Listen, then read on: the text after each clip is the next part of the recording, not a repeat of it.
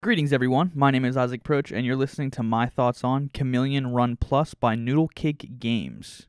Hopping right into this one, pun intended, we're going to be talking about an endless side scroller platforming hopper type of game. It's it's a ton of fun. I think the uh, the game gameplay loop is really fun. It reminds me of sort of a, a, smaller version of Super Meat Boy. You're having to react, and as your player runs across the screen, you'll be hitting uh, on the right side to jump, left side tapping will change the color of your character. So then, as you progress through the game, there are different color platforms introduced. You start out with uh, yellow and purple, I believe.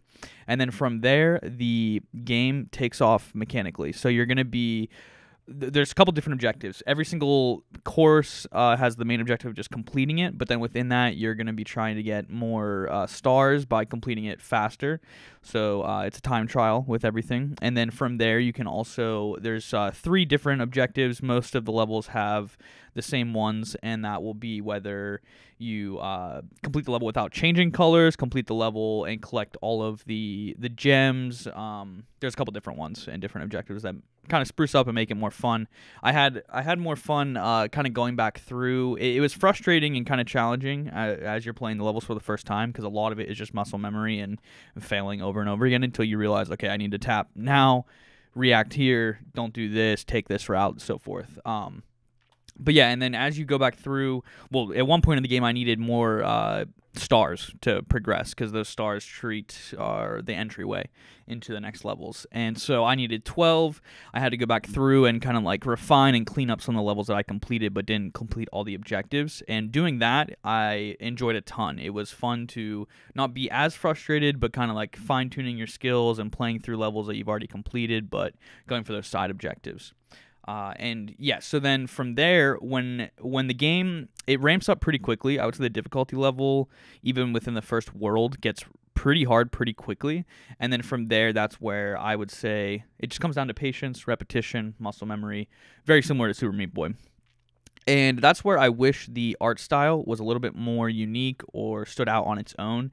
Art style is very sort of like web, HTML, Web 5. Uh, I'm thinking like Flash player games. It's very basic. Um, I, it, it's polished. It's not like sloppy in any way, but the the art style they could definitely kind of spruce things up in my opinion. And Chameleon Run Plus, I think if you're a fan of this type of game like that, just re- reaction challenge and testing uh, your reaction time on like this endless side scroller game, uh, Chameleon Run Plus, definitely, I would say, if you're a fan of the genre, is a must play. For those of you outside of that demographic and you're not in the sort of the hardcore, quick, reactionary, challenging game that you're looking for, if you're looking for more of a cozy, chill time, I, I would say Chameleon Run definitely not going to provide that. I wasn't, I, I, was kind of on edge when playing this game. I wasn't relaxed. Uh, and so, therefore, yeah, just take that into consideration. The soundtrack it is it's good. It has same uh, just sort of ethos that I would say with the art style. I wish they did more with the soundtrack. I'm thinking like and granted this might be in a sequel or whatever. Uh, with the current game it'd be awesome if the soundtrack combined with the gameplay more. It very much was just kind of like a background track. Sound effects are polished in there throughout. I think the UI is great but definitely was wanting more when it came to the art style and the audio soundtrack.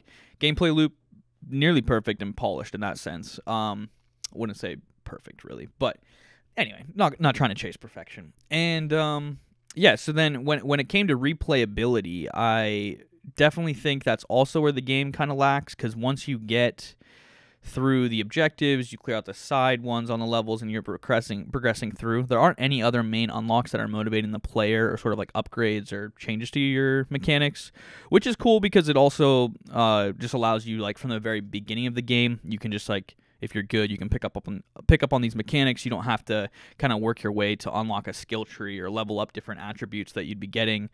Um, other than the tutorial levels where they introduce new mechanics for your player to interact with, there's not like you need this sword to get to the next level or anything like that. So, yeah, I think the simplicity is really the the charm of this. That's where it shines through. Uh, definitely a younger demographic, I think, would kind of like lose themselves to this. Whereas like I'm I'm definitely more versed in different gaming experiences, and I'm not gonna I'm not fiending to play Chameleon Run Plus, but I think Noodlecake Games they do a great job of just bringing another accessible and fun game to Apple Arcade that is polished in so many different ways and I think if they were to iterate from here, I would just yeah, I would love to see more done with the art style, maybe some different themes. I, I didn't play at the at the end of the select screen.